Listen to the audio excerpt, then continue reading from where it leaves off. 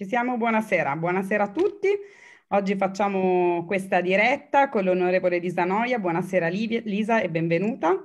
Eh, questo momento di riflessione che abbiamo immaginato sulla realtà politica che stiamo vivendo in questi giorni è stato organizzato da Gaia Raisoni, che è la nostra eh, coordinatrice di zona nord-ovest, nonché eh, la coordinatrice del comitato scuola di Milano Provincia. Quindi grazie Gaia, grazie Gianluca del supporto a questa serata e mh, mm, lasciate Ciao la parola Gaia. Ciao a tutti, grazie. Presentiamo Lisa Noia, deputata di Italia Viva componente degli organi parlamentari, dodicesima commissione degli affari sociali, la giunta delle elezioni e della commissione per l'accesso ai documenti amministrativi, se ho elencato giusto. Giustissimo. Grazie della tua partecipazione. Eh, come già anticipato da Lucia, eh, questo incontro, in cui ringrazio anche Gianfranco Morelli, l'altro coordinatore di zona, è stato organizzato proprio per riuscire a dare l'opportunità a tutte le persone di avvicinarsi alle tematiche che sono così attuali in questo momento. Soprattutto l'ultima settimana è stata fondamentale. I lavori alla Camera e al Senato sono stati veramente tanti importanti. E prendo spunto da una tua frase, Lisa, che hai detto, se non diciamo di no adesso, perdiamo il diritto di alzare la mano. Puoi spiegarci come il, la battaglia che Italia Viva sta portando avanti in merito al recovery plan e tutto il resto al governo sia così attuale, sia così sentito e così giusto come battaglia che anche noi, tesserati, iscritti, simpatizzanti, facciamo nostra e portiamo nei nostri territori. A te la parola.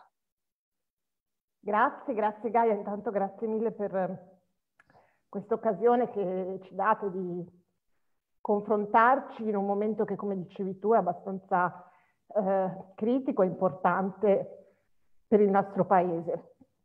Ma allora, per fare un quadro, ehm, voi sapete che in questo momento eh, l'Italia ha una grandissima opportunità, nel senso che in una tragedia terribile come quella che stiamo vivendo legata alla pandemia, l'Europa ha battuto un colpo e ha deciso, attraverso l'istituzione del Recovery Fund, e diciamo del piano eh, Next Generation EU di eh, stanziare delle risorse molto ingenti destinate ai paesi con eh, dei criteri di distribuzione che vedono l'Italia avere una fetta importante di questi fondi. Una parte dei fondi è data all'Italia a fondo perduto, una parte invece è a prestito, ma con delle condizioni molto favorevoli. Insomma, in tutto parliamo di oltre 200 miliardi di cui l'Italia potrà usufruire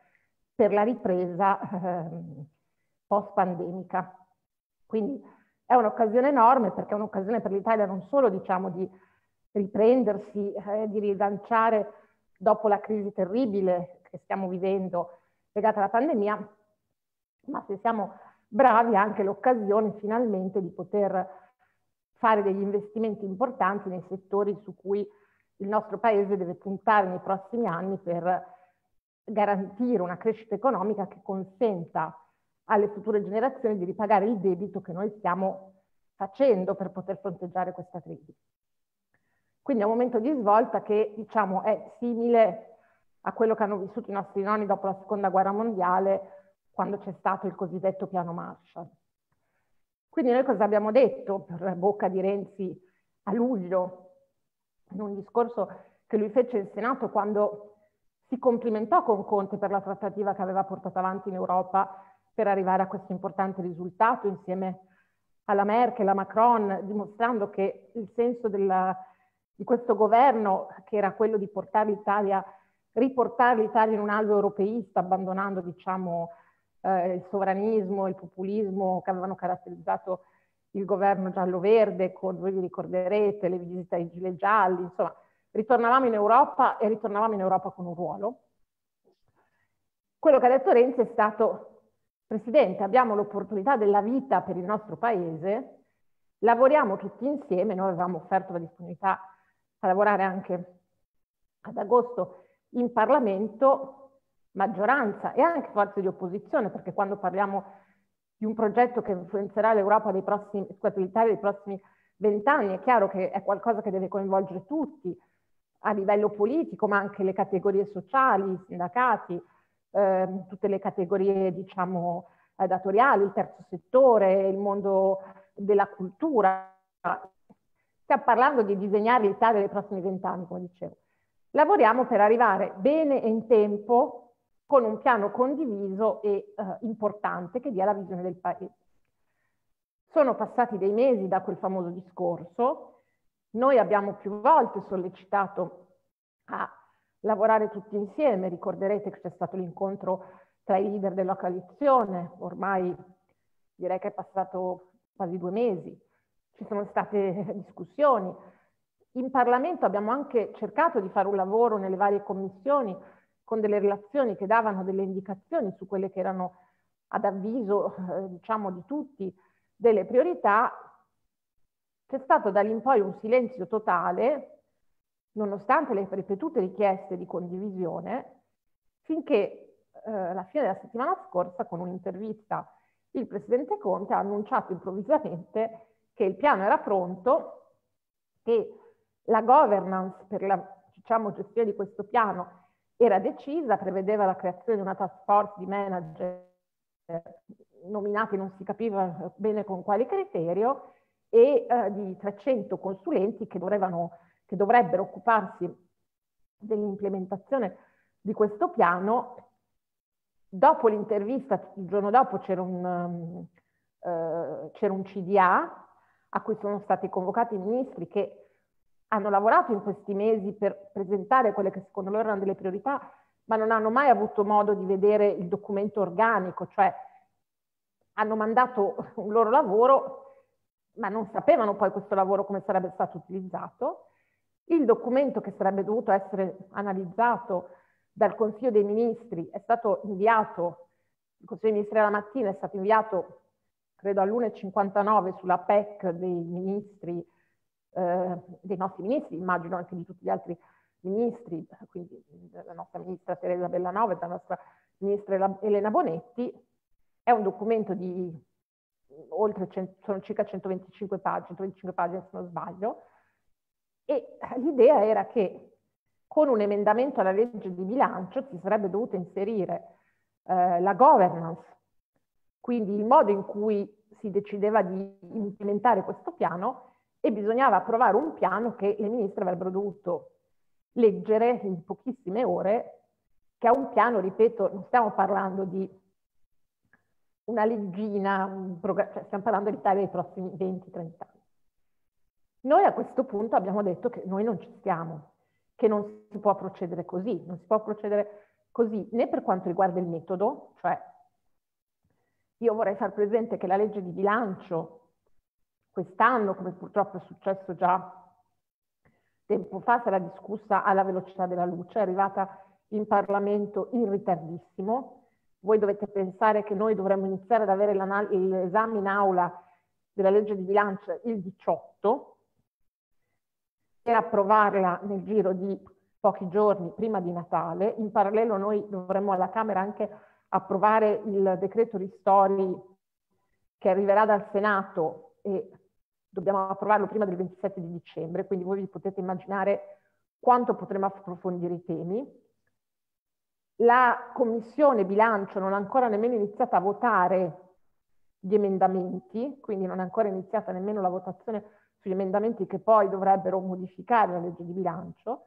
La legge di bilancio arriverà in Senato blindata, cioè non sarà più modificabile perché deve essere approvata entro il 31 dicembre, quindi avranno in Senato pochissimi giorni non possiamo certo permetterci di sforare la scadenza del 31 dicembre che farebbe andare l'Italia in esercizio provvisorio. Ora voi immaginatevi se in una condizione come questa noi possiamo inserire nottetempo un emendamento che va a decidere come gestire i 200 e passa miliardi del recovery fund, che approva un recovery plan che come vi dicevo non è stato sostanzialmente visto in anticipo né dai ministri né tantomeno dal Parlamento e tutto questo perché? Perché abbiamo perso 3-4 mesi in cui, nonostante le ripetute richieste di lavorare, è stato tutto tenuto, diciamo, voglio dire nascosto, ma non è stato condiviso. Allora, noi diciamo delle cose molto semplici. La prima, ci sono i ministri, i ministri sono eh, i responsabili politici dei vari dicasteri che dovranno essere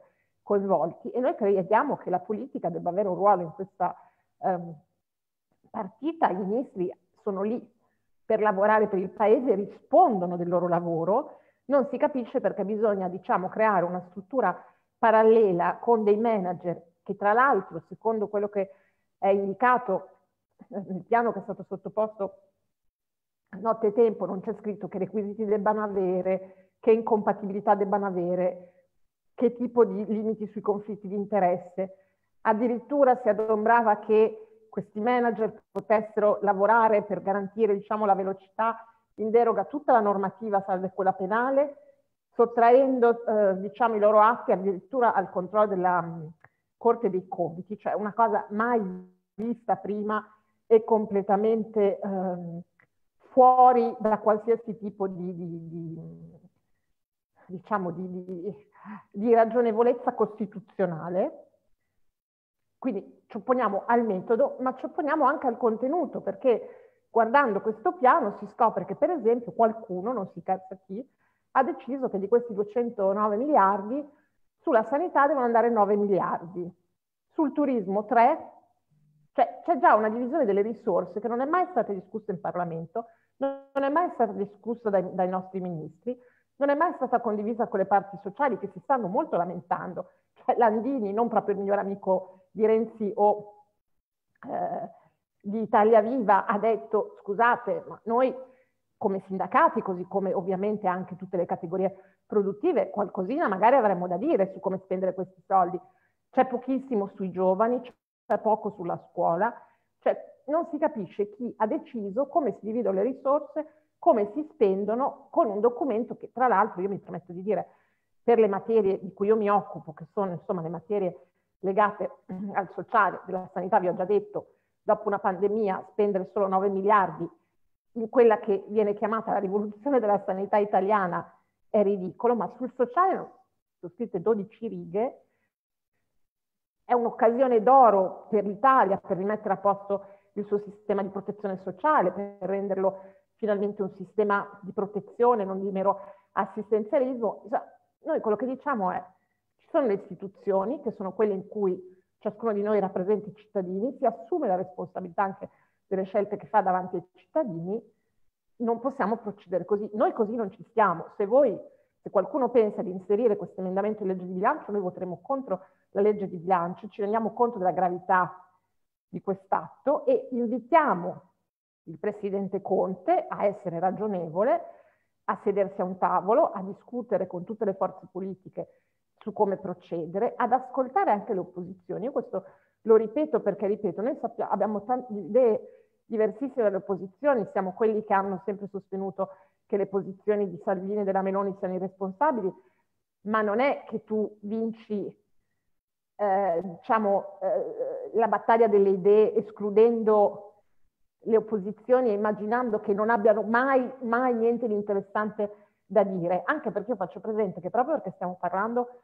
di un piano che si svilupperà in cinque anni e più, nessuno di noi ha la garanzia che questo piano verrà poi applicato quando finirà questa legislatura dallo stesso governo, dalle stesse forze politiche che ci sono oggi. E i piani a lungo termine, che devono quindi essere poi applicati da qualunque forza politica si troverà ad avere l'onore di guidare questo paese, devono essere condivisi. Condividere non vuol dire che poi non c'è un governo che si prende una responsabilità, una maggioranza che non assume, diciamo, la responsabilità delle scelte.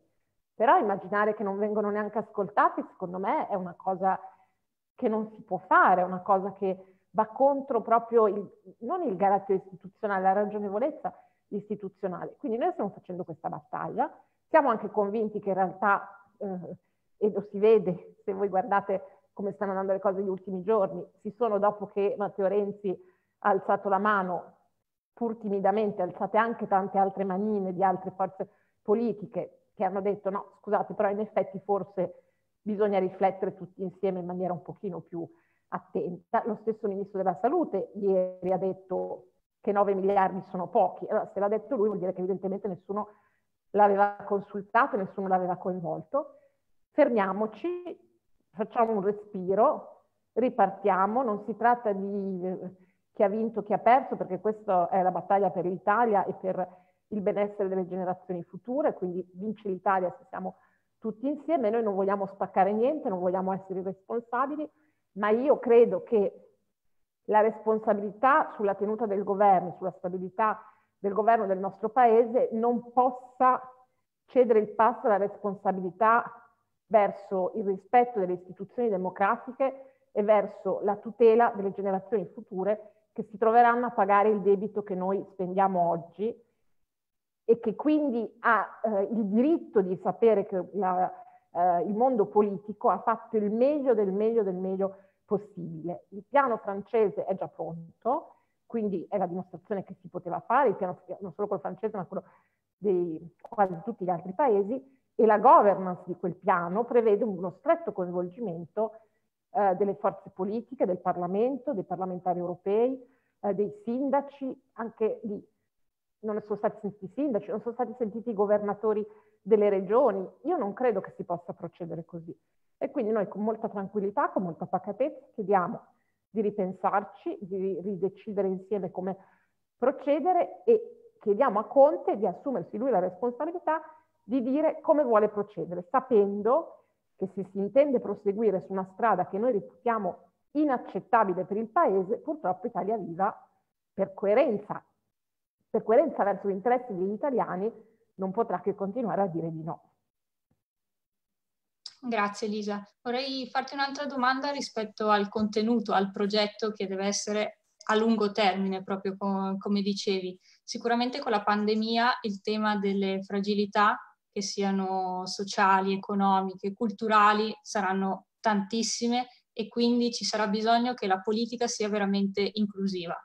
Quindi nel prossimo futuro. Cosa vedi e cosa c'era in questa proposta che invece non trattava queste cose, no? come, come ci dicevi, ma che è un tema che proprio voi come Italia Viva state battendo molto. Ma il problema non era tanto di quello che c'era, ma quello che non c'era. Cioè, leggendo questo documento, io per esempio non trovo nulla su quella che è la visione, per esempio, del welfare del futuro. Allora, noi sappiamo che eh, come dicevi tu, le fragilità del nostro paese usciranno ancora più fragili da questa pandemia. Noi abbiamo due scelte. Possiamo immaginare di eh, limitare eh, l'aiuto alle persone più fragili con sussidi a go-go, sapendo che i soldi finiscono, oppure possiamo immaginare finalmente di mettere mano a un sistema che negli ultimi vent'anni purtroppo non è stato capace eh, di rinnovarsi e di rispondere alle spinte innovative che per esempio sono nate in questi anni dal terzo settore. Eh, c'è tutta una linea di pensiero su quello che viene chiamato welfare generativo, cioè l'idea di un welfare che investe sulle persone per cercare di dargli gli strumenti per riscattarsi, per aiutarle a, a, a superare la loro fragilità o comunque per aiutarle a tirar fuori il potenziale che hanno. E questa è una grande occasione. Io vi faccio un esempio eh, di due punti, che io credo, di tre punti che per esempio secondo me eh, noi non possiamo perdere su quello che dicevi tu, la tutela delle fragilità.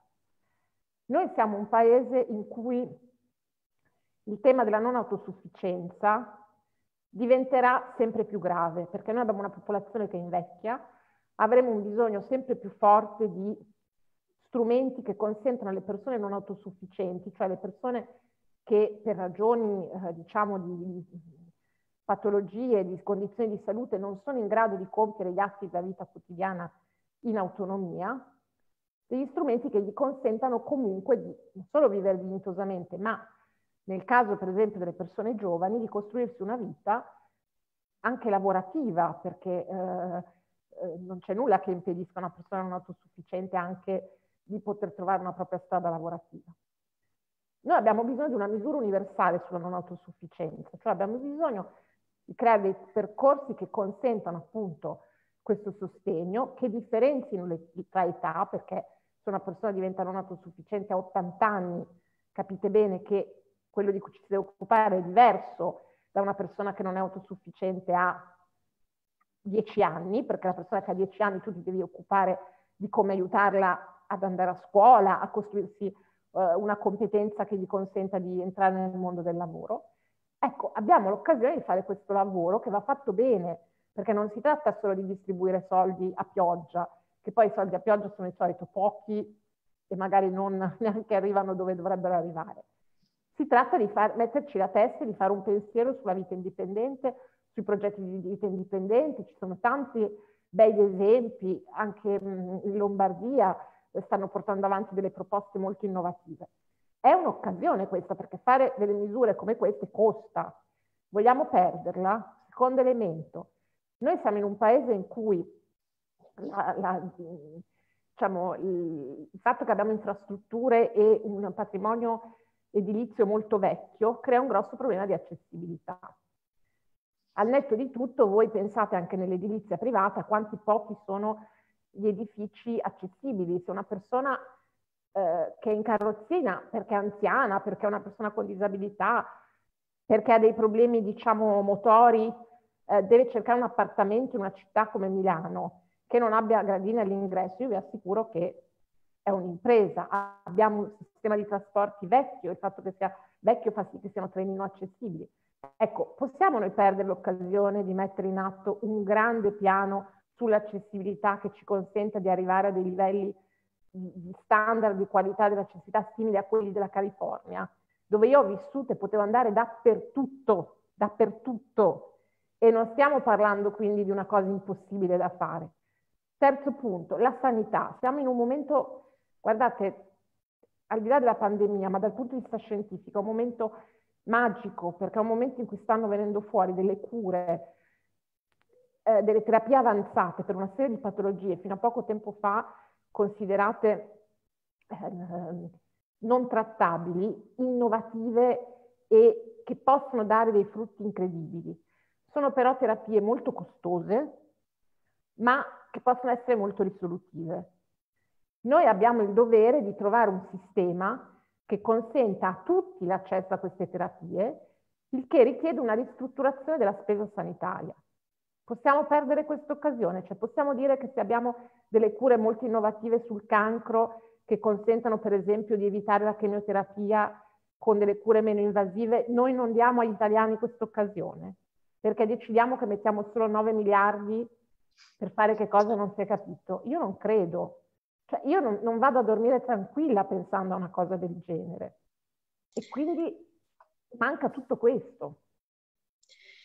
Gaia, facciamo una, eh, una pausa legata, pausa per modo di dire, legata ai tanti, le tantissime persone, persone che ci stanno seguendo. Tra l'altro, questo è un bellissimo eh, segnale e mh, mm, devo dirti Lisa che tantissimi dicono tenete il punto, eh, state portando avanti una battaglia per i, prossimi, per i prossimi anni e quindi insomma fa piacere leggere questi messaggi, quello che piacerebbe dire a me è che noi dobbiamo prendere le tue parole e portarle in giro nei nostri territori perché non è banale capire il lavoro che stiamo facendo, cioè ridare centralità al Parlamento, con una qualità di pensiero, qualità di, di, di, di, soluzioni. Poi d'altra parte noi siamo quelli che voi soprattutto, ma noi siamo quelli che nei tre anni insomma, di governo Renzi il PIL hanno fatto crescere, insomma ci hanno visto lungo coi numeri, quindi eh, portiamo, lo, lo, dico a tutti quelli che ci stanno seguendo, che sono veramente tanti, eh, i nostri parlamentari e Matteo terranno il punto, però noi dobbiamo impegnarci a far passare i messaggi che Elisa ci sta raccontando con grande, con grande eh, dovizia perché eh, non avremo tutta la stampa che, che ci aiuterà in quello che stiamo facendo. Però è una battaglia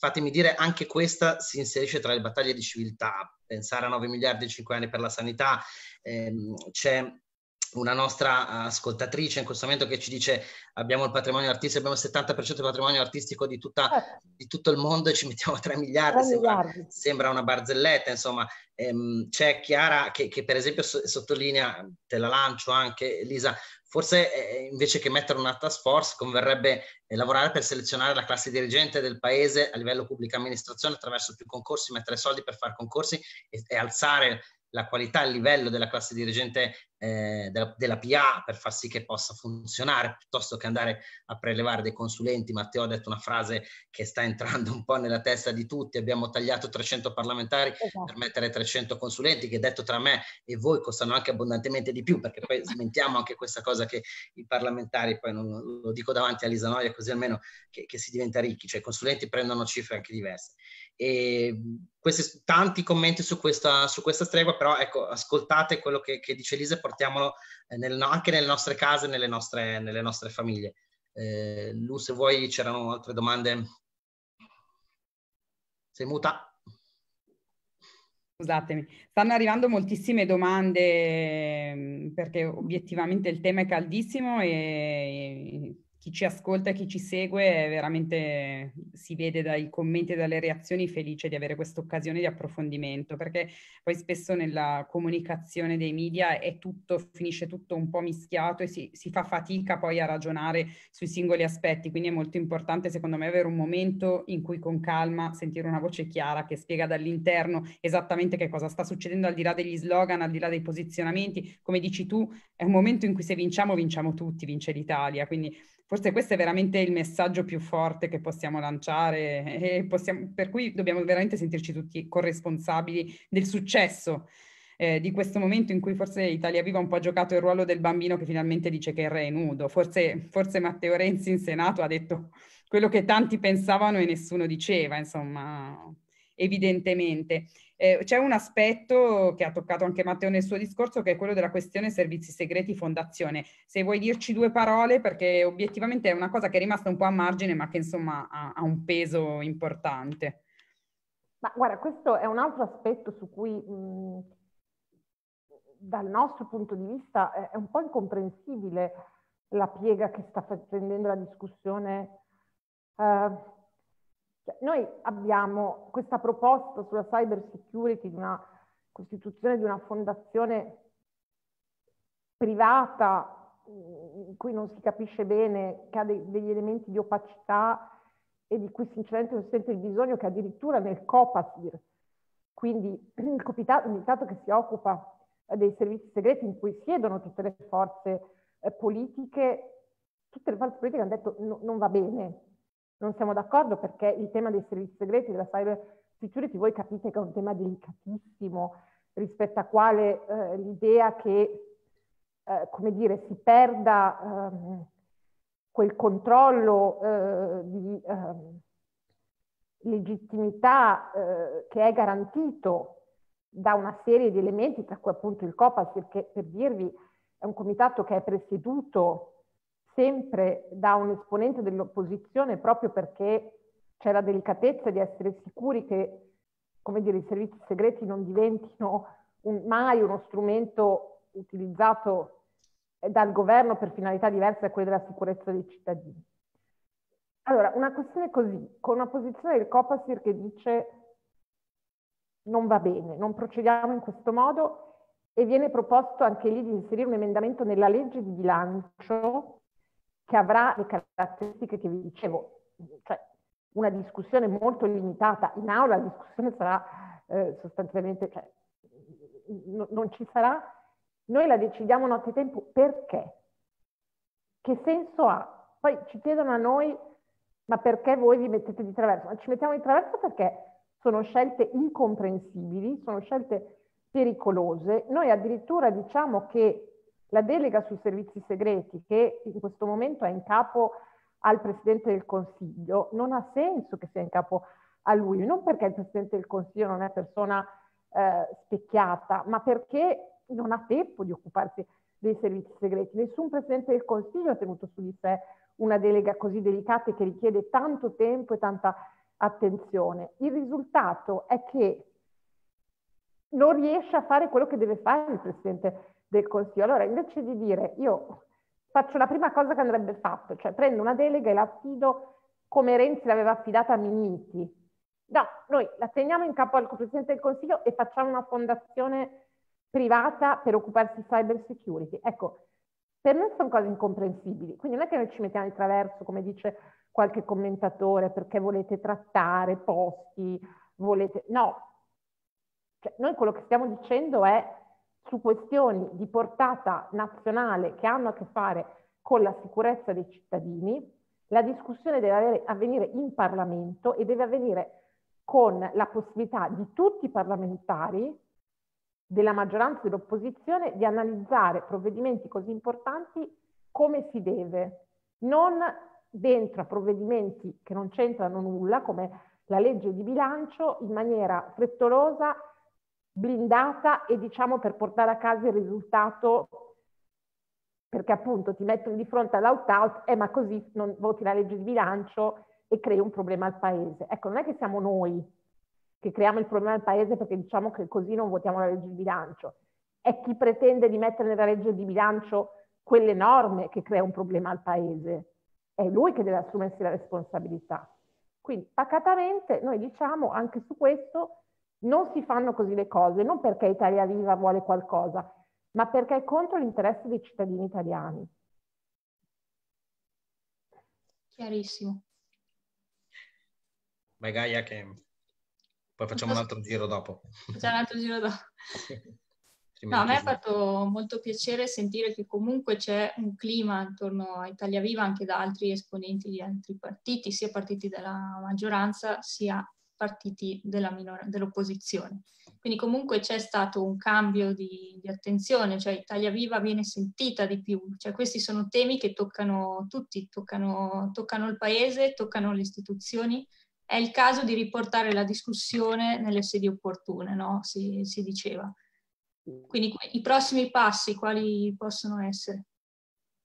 Ma allora, intanto noi aspettiamo eh, quindi la palla adesso è nel campo del Presidente Conte che di fronte a eh, una posizione molto chiara di una sua forza di maggioranza, ma devo dire nelle ultime ore di fronte al fatto che anche altre forze di maggioranza comunque, pur diciamo magari un po' meno, deci- una decisione meno forte e diciamo venendoci un po' dietro, però insomma hanno comunque cominciato anche loro a sollevare alcuni dubbi, eh, deve dire come intende procedere. E noi il lavoro che stiamo facendo e che faremo nelle prossime ore è comunque proprio perché il nostro intento è quello di dare una mano al Paese, è di formulare le nostre proposte rispetto al documento che c'è stato, che è circolato, di dire la nostra e di spiegare cosa manca, cosa va cambiato.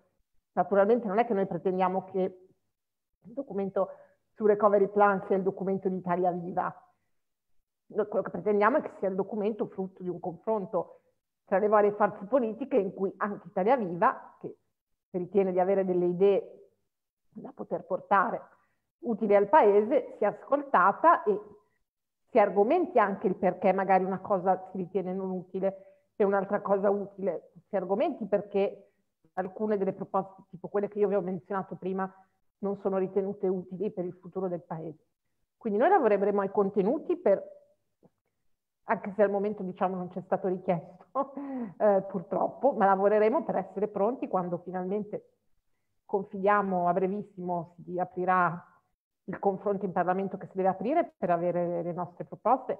Peraltro un lavoro che comunque in questi mesi abbiamo già fatto perché noi negli incontri che si sono tenuti ripetutamente un altro tema che è diciamo, la revisione dell'accordo di governo per capire da qui alla fine della legislatura cosa vogliamo fare. Abbiamo tutti lavorato, eh, ognuno per le proprie materie di competenza, predisponendo un documento, cioè abbiamo fatto davvero i compiti a casa, li abbiamo sempre fatti.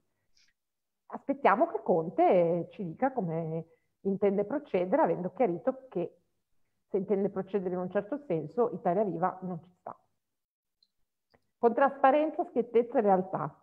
La realtà però non è, eh, diciamo, tu mi porti sull'orlo del, del, del, della scadenza perché così io ti devo dire di sì a tutti i costi. La realtà è che noi ti diciamo prima le cose e le cose che diciamo oggi le abbiamo iniziate a dire a luglio, quando qualcuno ci dice ma dove eravate? Noi eravamo in Parlamento e queste cose le dicevamo a luglio e le abbiamo dette in tutti questi mesi. Questo è molto importante che è un messaggio che spesso non passa sulle principali testate. Eh no, infatti eh, chiedono a noi, ma perché? Non, eh, perché? Cioè, non è a noi che dovete chiedere chi ha fatto quel documento, lo dovete chiedere a chi l'ha, l'ha proposto quel documento, da dove viene. Non viene da noi e a noi non è mai stato chiesto il nostro parere. E ripeto, noi queste cose le andiamo a ripetendo da mesi.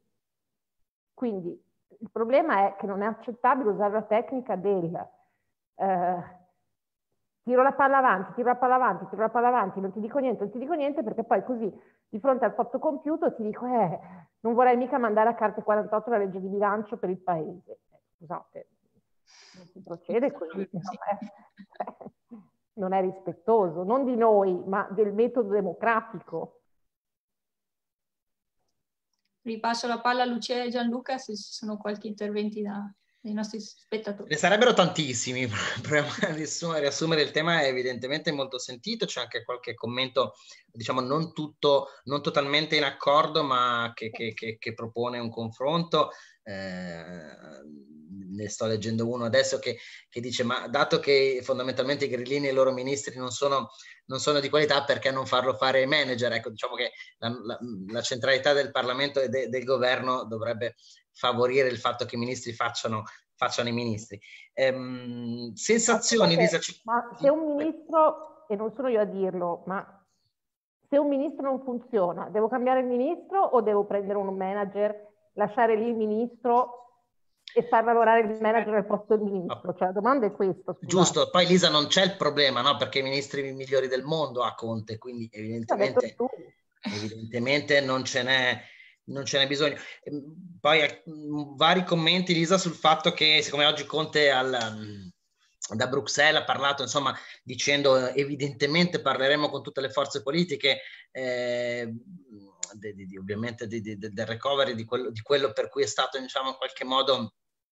ehm, neanche attaccato, è stato in qualche modo ecco, posto al centro del, del, del dibattito parlamentare da, da, Matteo qualche giorno fa, se le sensazioni sono positive, insomma si parla di sensazioni evidentemente, cioè credete che, che, che Conte possa fare un passo indietro, che possa ascoltare eh, con attenzione le nostre, le nostre, proposte, dato che hai chiarito più e più volte, e lo chiariamo anche a tutti quelli che ci seguono, che non, che non molliamo su questo, su questo, punto, perché sono troppe le cose che, che, non ci vanno bene. Quindi eh, molti ci chiedono se le sensazioni sono che, che tornerà sui suoi passi, ecco, fondamentalmente, basta, basta, che non lo faccia il 31 dicembre, ecco, lo aggiungo io.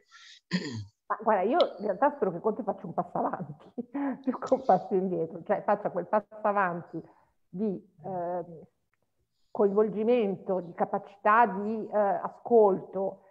Eh, oggi le parti sociali, la, la, CGL ha detto noi siamo pronti, vogliamo sederci al tavolo. Cito la CGL per dire che, cioè parliamoci chiaro, non è che Renzi è il miglior amico di Landini, ok? Allora, qualche dubbio sul fatto che ci sia su questo tema davvero una condivisione di posizione tra Landini e Renzi, secondo me deve far, venire qualche dubbio a quelli che sostengono che noi siamo i matti che vogliono fare pasticci perché ci divertiamo a fare, come dire, il giamburrasca della situazione.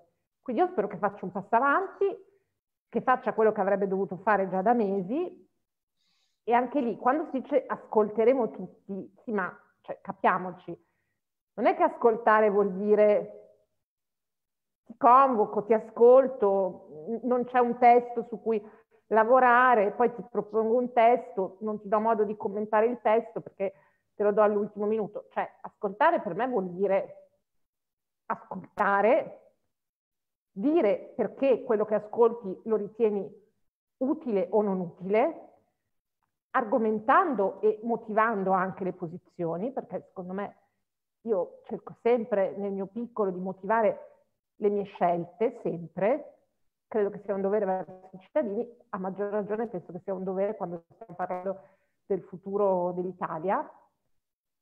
E poi da lì ovviamente si arriva a una sintesi, eh? cioè ripeto, nessuno di noi pensa che tutto quello che propone Italia Viva debba essere accettato, tutto quello che propone, perché mm, se no... Però quello che viene ehm, chiesto è un ascolto eh, autentico, che, che possa anche modificare le cose. Non è che noi vogliamo andare lì e fare, come dire, dei bei discorsi e bere un tè insieme. E soprattutto bisogna stabilire dov'è la sede di questo discorso. perché io credo che un dibattito così serio, in cui è anche importante che i cittadini capiscano quali sono le posizioni in gioco, quali sono le proposte, quali proposte tra quelle che vengono ehm, diciamo, portate all'attenzione del Paese vengono accolte e quale no, si svolga in modo trasparente. E qual è il luogo migliore del Parlamento italiano? Cioè, qual è?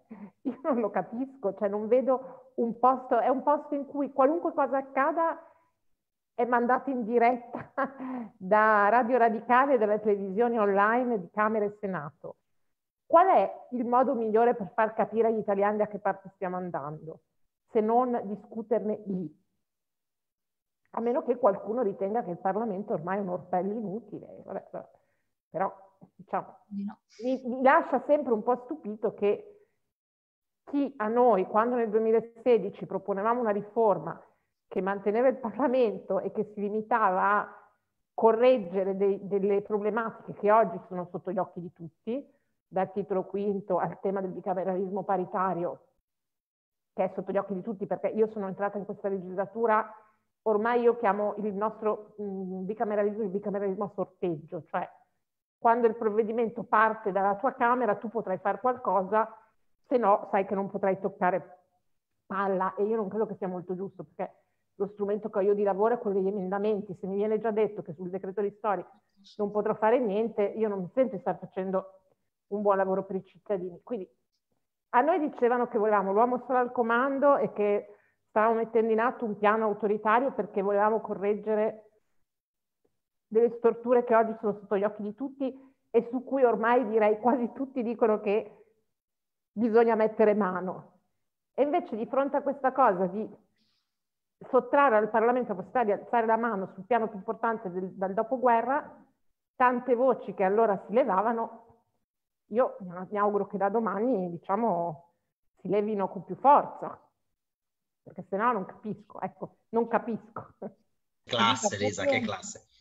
Proprio in questo senso, giustamente stanno arrivando una valanga di domande e Annalisa Cordella ne pone una che effettivamente eh, ci siamo posti in tanti, cioè è abbastanza assordante il silenzio degli altri partiti di maggioranza, cioè Italia Viva è rimasta stupita per l'arrivo di questo documento in questo modo, con questa tempistica, con queste modalità, ma il PD e 5 Stelle? Eh, la domanda è, hanno messo mano loro al documento per cui non reagiscono oppure la paura di rompere un patto oppure cos'è? Perché questo silenzio soprattutto del PD è veramente assordante.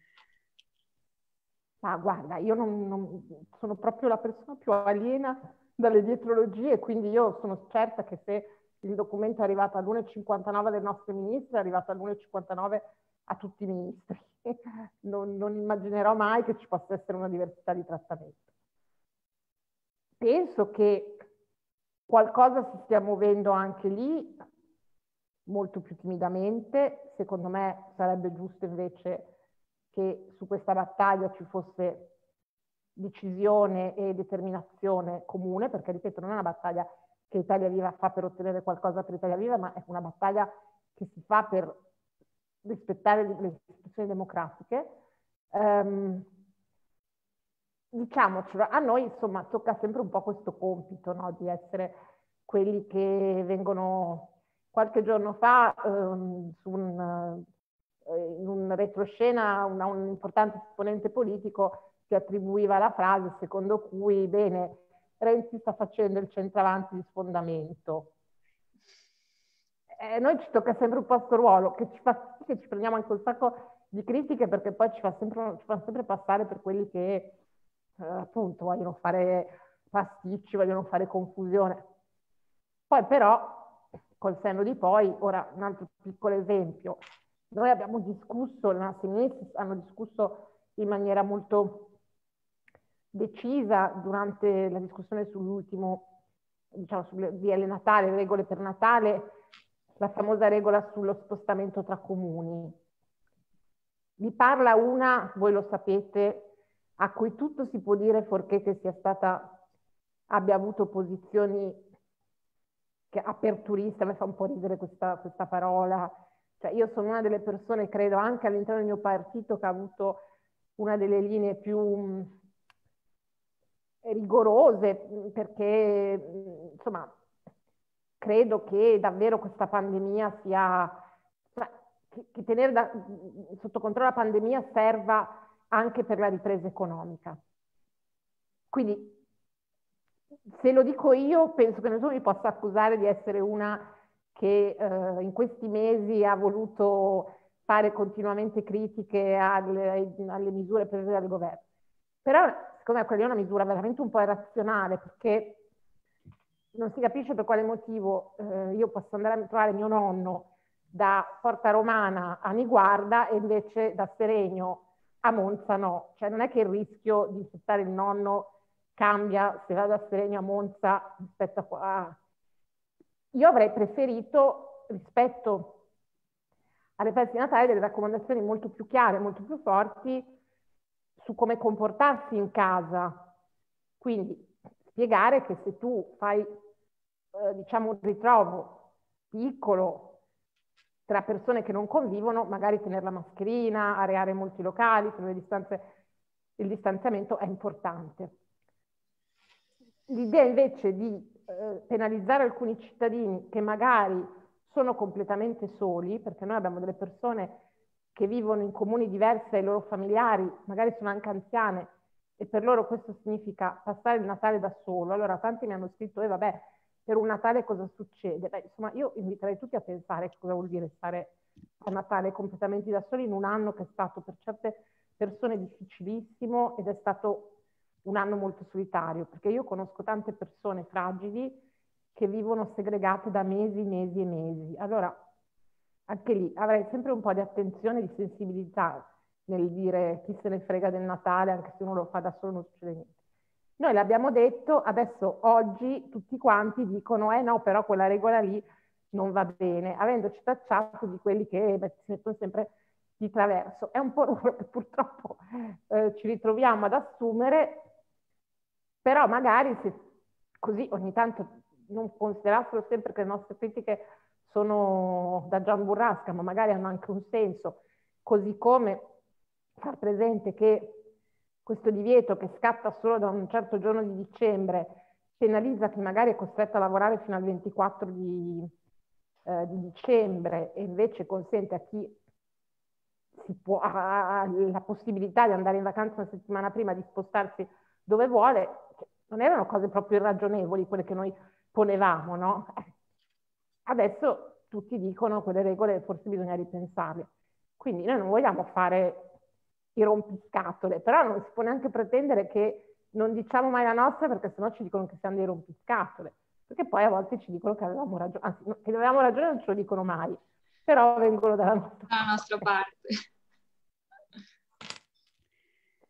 Quando uno ha dei contenuti, poi quando li tira fuori risulta a volte non graditissimo, ecco, diciamo così. Io vorrei che tutte le volte gli argomenti fossero di merito. Cioè, se tu hai degli argomenti per dirmi che quello che sto dicendo su gli spostamenti a Natale sono delle sciocchezze, ne discutiamo, io sono contenta di discutere e magari mi convinci pure, eh, perché io parto sempre... Ma non è che tutte le volte mi puoi dire no, però tu parli solo perché vuoi rompere le scatole, perché quello non è un argomento. Assolutamente, Lisa. Gaia, avevi qualcosa o facciamo una chiusura dato che ci eravamo dati un... Sì, una chiusura. Un'oretta. Sarà magari un'altra occasione perché è stato bellissimo fare questa chiacchierata, quindi spero molto. potremo replicare. È stato molto bello e molto gradito da tutti i nostri iscritti e simpatizzanti che hanno seguito veramente con grandissima attenzione le tue parole, Lisa. C'è, c'è, veramente tanto, tanto, seguito, Lisa. Questa diretta è stata molto seguita e sono tantissime anche le domande a cui non riusciamo a rispondere, ma evidentemente lo, gli spunti di riflessione che ci hai dato permettono anche un, un ulteriore ragionamento, sicuramente. Eh, l'hai, detto, l'hai, detto, bene. Eh, non è questione di rompere le scatole, è questione che 200 e passa miliardi d'Italia non li avrà per i prossimi 20-30 anni, mai più. Quindi quello che stiamo provando a fare è semplicemente eh, creare il futuro delle, delle, generazioni a venire. Quindi è una battaglia più che sacrosanta. Evidentemente noi siamo un po' più coraggiosi di, di altri, evidentemente il merito dovrebbe essere una linea, con, di, di, la, la, linea che conduce non sempre, non sempre lo è, però insomma siamo, siamo, tutti con voi, lo, lo sen- spero che lo sentiate, c'è un, c'è un, seguito molto forte, tantissimi hanno seguito, tantissimi lo stanno dicendo. Che dirti, grazie, grazie perché venerdì sera siamo tutti molto stanchi, hai fatto un'ora di, di grande racconto di una settimana molto complessa e in attesa, in attesa delle prossime in cui esatto. sicuramente Italia Viva porterà, indipendentemente da, que- da quello che ci diranno i, da quello che diranno i giornali, Italia Viva porterà a casa un importante risultato. Gaia, se vuoi... Ringrazio. Grazie no, scusami, Gaia, Gaia. No, no, io ringrazio te Elisa, ringrazio Gianluca e Lucia sempre per l'ospitalità e il supporto e tutti gli ascoltatori, chi ha seguito la diretta, raccoglieremo comunque gli spunti, magari anche per riflessioni all'interno dei nostri comitati, dei nostri incontri di zona, quindi benvenga. Ecco. Grazie, grazie a tutti, non mollate e Grazie. noi continuiamo a portare sul territorio i nostri... A voi, esatto, l'importante il lavoro che state facendo è preziosissimo. Io dico sempre solo una cosa e con questo chiudo.